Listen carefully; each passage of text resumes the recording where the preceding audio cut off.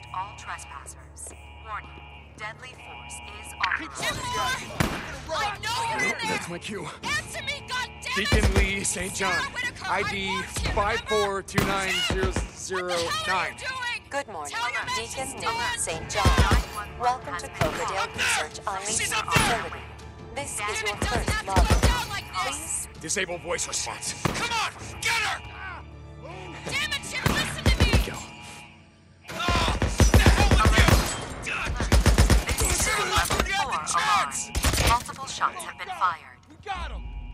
Personnel to the maintenance building. He's on my side! Come on, come on, come on. Warning, deadly force is authorized for use against all trespassers. Warning, Celeste. deadly force is authorized.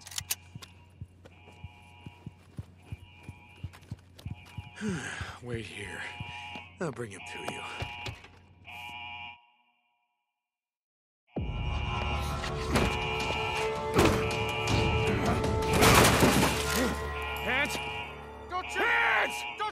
Don't shoot! I give up! Get give up! Don't shoot him! We need him alive! Oh, God damn it, I said hands! All right, all right, just, just tell me what you want. Okay, all right. He's clean! We were just defending ourselves. Get down there. All the dead people outside, Jim. You know, the ones you shot in the head? I don't know what you're talking I mean, what was it, huh? What were they trying to do? Get home to their families, maybe bring them back here? You didn't want that, did you? We just couldn't take the risk.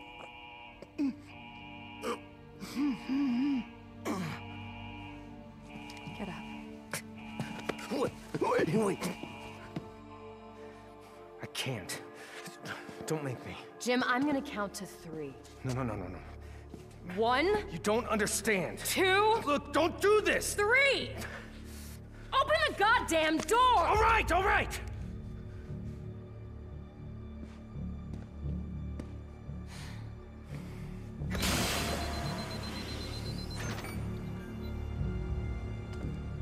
I hope you know what you're doing. Thank you, Jim. Yes, we know what we're doing. You don't have to do this. Let me go. I'm sorry. We just can't take the risk.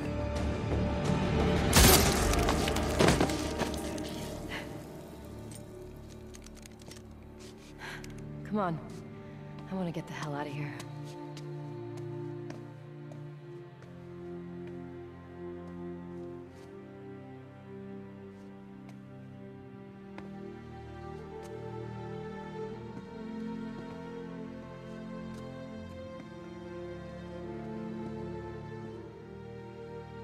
True. I didn't want to believe it.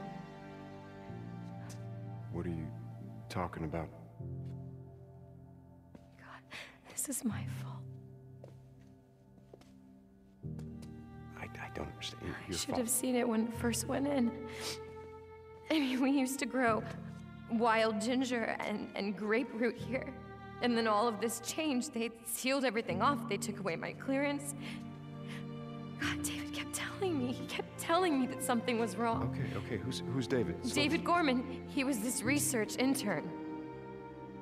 You know what I said? I told him that we're a farm and we're we're high tech and all that shit, and that there are billions of dollars at stake, and to just leave it alone. And he didn't listen.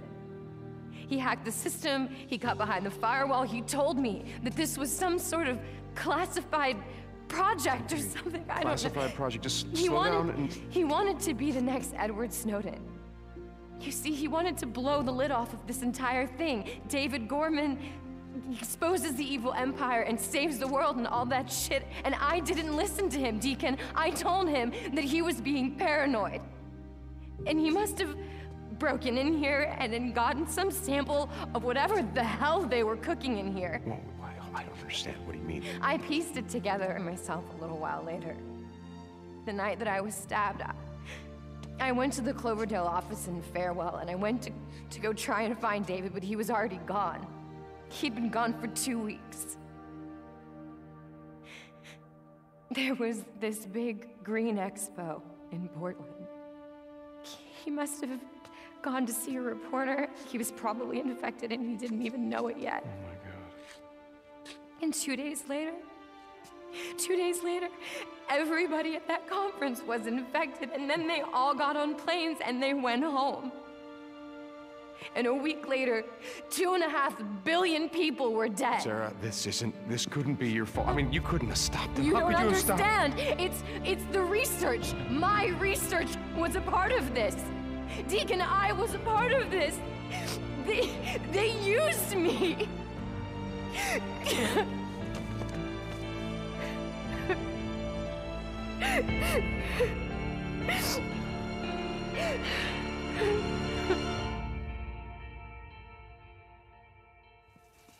Hey, uh, hold, on for a second. What's Uh, the electric fences. How would I turn them off?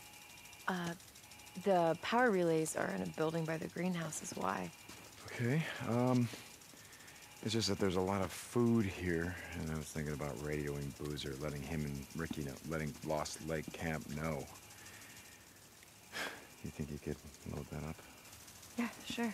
Okay. Um, I'm gonna be right there. Okay.